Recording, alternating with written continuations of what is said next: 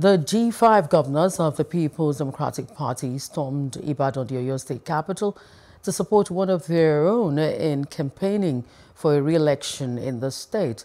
The group also reiterated their resolve to make public their choice among the presidential candidates vying for vying in the February 25 election. Our correspondent has more in this report. It's a total display of solidarity as members of the Integrity Group converged on the ancient Mapo Hall in Ibadan to support their own Governor Seyi Makinde for his re-election bid. The governor of Enugu State, Ifeanyi Ugwuanyi, and his Abia State counterpart, Okezie Ikpeazu, emphasized that the Oyo State governor represented a vision for a better Nigeria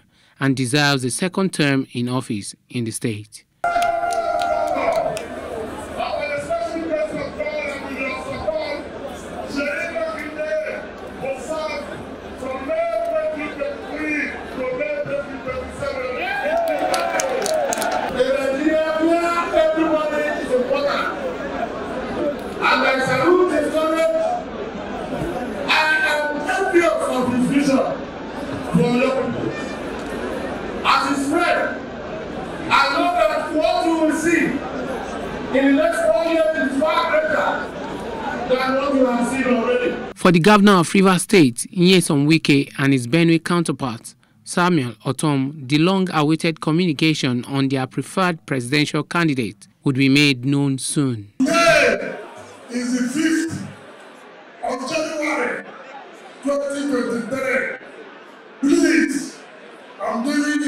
Final notice. Withdraw now. withdraw now for Seyi Makinde. There's no need to worry yourself. The people of Oyo have spoken that it is PDP during Seyi Makinde. Vote for Seyi, vote for the senators, vote for the House of Reps, vote for the House of uh, one, Seyi will talk to you. We are committed to PDP we are not letting go. We are and what to do.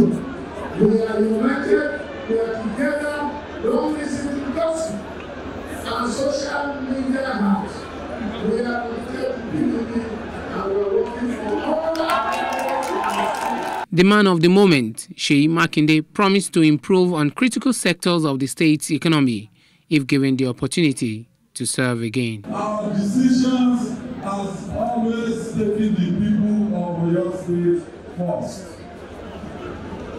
Now it is time to upgrade. It is time for Omituntun 2.0. Omituntun Apa AG. The G5 governors maintained their loyalty to their party, the PDP, calling on Nigerians to support her in the coming elections. Hello. Hope you enjoyed the news. Please do subscribe to our YouTube channel and don't forget to hit the notification button so you get notified about fresh news updates.